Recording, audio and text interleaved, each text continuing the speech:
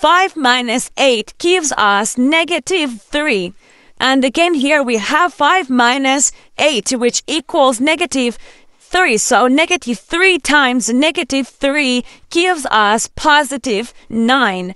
But this answer is not correct because according to the order of operations, first we have to do parentheses, then exponents, then multiplication or division, and the final addition or subtraction.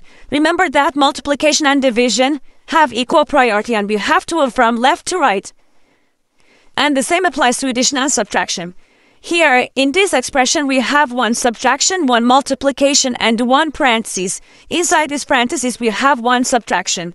Here we have a multiplication because in mathematics, when a number is placed next to parentheses, it means multiplication.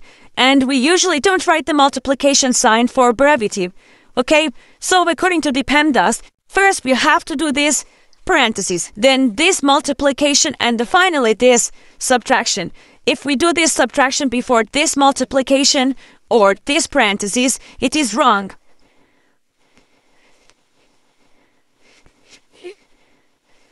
So first this parentheses, 5 minus 8 gives us negative 3.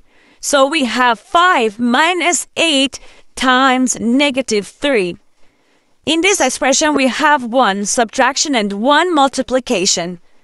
According to the PEMDAS, multiplication has higher priority than subtraction because multiplication comes before subtraction. Okay, so first this multiplication. Negative 8 times negative 3 gives us positive 24. So we have 5 plus 24, which gives us 29.